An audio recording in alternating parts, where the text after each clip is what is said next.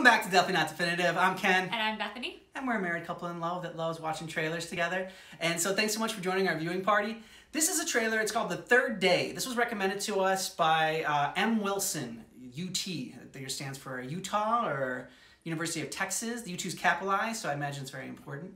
But we really appreciate it that you're taking the time out of your day to join our viewing party and watch trailer reactions with us. And, and telling us about things that we might not otherwise know about. I had no idea that there was something coming out called The Third Day or, or with Jude Law, so I'm really excited because this is a total surprise to me. Exactly. So let's watch it together. Let's go. All right, here you go.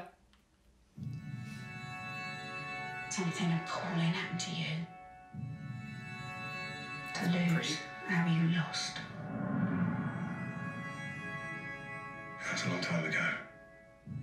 Pain doesn't know time here. We've been through some bad things, but we take care of each other. This place, it's safe. When was the last time you really let go, Sam? Most people are scared of pain. But they don't know how warm it can be. I think I'm seeing things. You're here because you needed belief. But your grief wants chaos. Something happened here. Something violent. Is there someone frightening you here on the island? It's De Niro?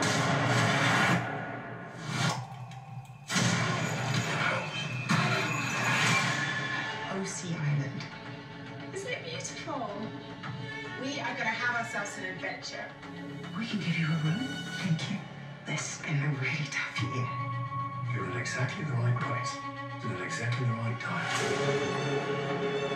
Lucy needs to be in balance. And you can heal it. It will understand you. Know you. They will love you back. Everyone here is acting like something bad's gonna happen. Not all has been be healed.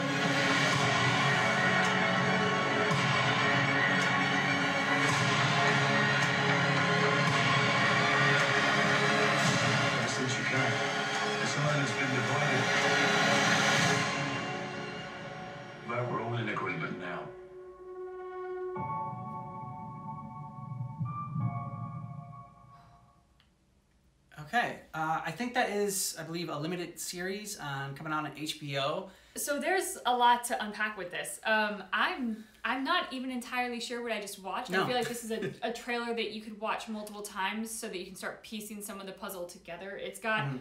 sort of like a, a weird small town creepy Stephen King horror type vibe to it, but then there's also this drama element with loss and, and I think people struggling who happen to find themselves in this this town. I don't I don't know. It's um it's a little bit trippy, so Yeah. I'm excited for that. She likes she likes the creepy and, and the trippy and, and the scary kind of stuff. I, I'm more of the, the, the comedic, comedic guy. And I He's like the lighthearted. Yeah. well, I figure you know we're living through a horror film in 2020, so we got you know we want to keep it a little bit lighthearted. But I'm still excited to check this out and really appreciate M Wilson you uh, dropping down in the comments to let us know about this. Yeah, thank you. Because I didn't, I had never even heard of this. I didn't know anything about it, and I'm really curious as to what the origin is. If it's based on Yeah. on a book or a graphic novel, or if this is a totally original screenplay that somebody crafted. I mean, which is so exciting. Yes, original material. Thank you. Go ahead and let us know what you thought about this trailer down below in the comments. And if you want to subscribe and join our viewing party, just go ahead and click on the little icon of us drinking pina coladas together. And keep in mind that our trailer reaction for the third day Is definitely not definitive.